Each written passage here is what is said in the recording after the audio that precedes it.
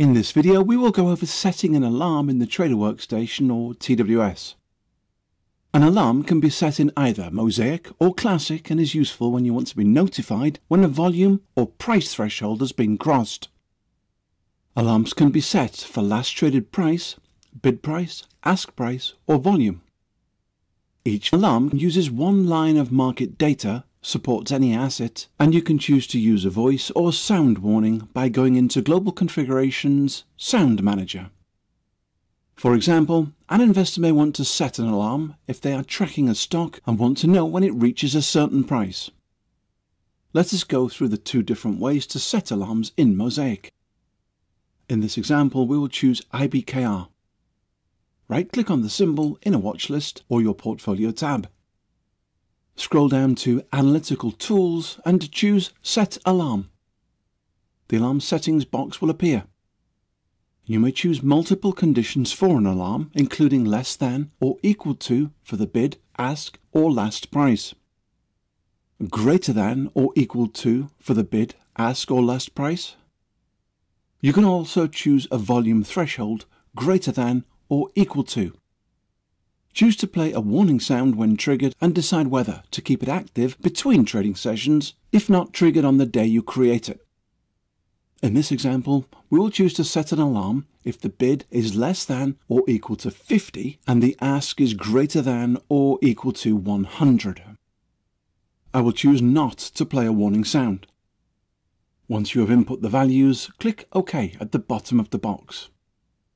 Once set, you will see the values in the corresponding data columns, highlighted in green, showing that they are armed for that input. If your watchlist doesn't have the bid, ask, or last data column showing, they can be added by clicking on the gear in the upper left-hand corner of the screen. Now, let's look at what happens if an alarm is triggered. We will go back to IBKR and reopen the alarm settings box, noticing the values we added still appear. We will now add an input for volume greater than or equal to 1000 to see what happens when an alarm is triggered. I'll elect to continue to keep the sound off. Since the volume alarm we just set was triggered, the volume field is flashing red and green. And it will continue to flash until you acknowledge that it has been triggered by clicking on the flashing box. Going back into the alarm settings box, we see that the value for volume is no longer there since the condition was met and the alarm was triggered. However, our earlier inputs for bid and ask prices are still armed since they have not yet triggered. Alarms can also be set through the new window area. First, select a symbol either on a watch list, portfolio tab, or type one into the order entry panel. Then go to the new window area and scroll down to the More Advanced Tools and select Set Alarms.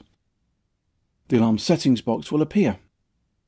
Type in whichever price or volume change levels you would like to be notified about.